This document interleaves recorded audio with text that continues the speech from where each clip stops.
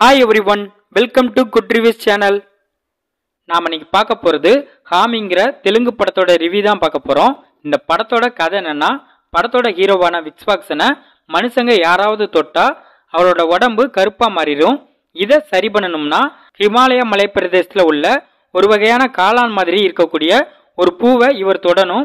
அந்த பூ முப்பத்தி ஆறு வருஷத்துக்கு ஒரு முறை தான் வரும். அதனால் அந்த பூவை தேடி ஹீரோ ஹிமாலயக்கு போகிறாரு இவர் அந்த பூவை கண்டுபிடிச்சாரா? இது ஒரு பக்க கதை. இன்னொரு பக்கம் ஒரு ஆராய்ச்சி பண்ணக்கூடிய இடத்துல ஒருத்தர் மாட்டிக்கிடுறாரு. அந்த ஆராய்ச்சி பண்ற இடத்துல இருந்து அவர் தப்பிக்கிறதுக்காக ட்ரை பண்றாரு. இவர் அங்கிருந்து தப்பிச்சாரா இல்லையா? இது இன்னொரு கதை.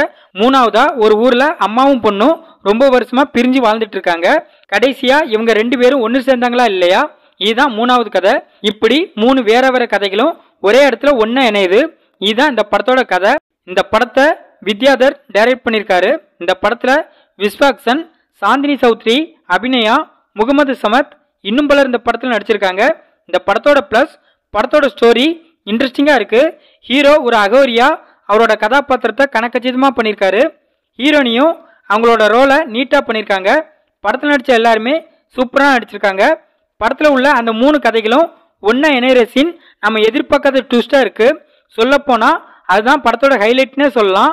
அந்தளவு ஒரு தரமான ட்விஸ்டாக இருக்குது படத்தில் ஹிமாலய மலைப்பிரதேசத்தை காட்டின விதம் விஷுவல் ட்ரீட்டாக இருக்குது ஒவ்வொரு பனிமலைகளும் ரொம்ப அழகாக இருக்குது ஹீரோ அந்த பூவை தேடி போகும்போது என்னென்ன பிரச்சனைலாம் அவருக்கு வரும் அப்படிங்கிறத படத்தில் சூப்பராக காட்டியிருக்காங்க.